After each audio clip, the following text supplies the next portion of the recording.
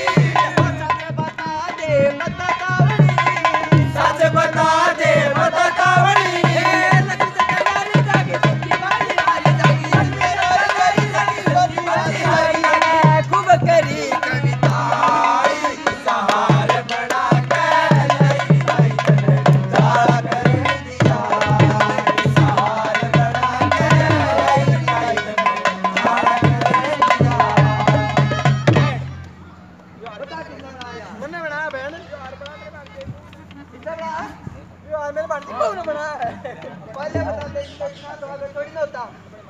एक काम कर हाँ अपने भांजे की बूंद है।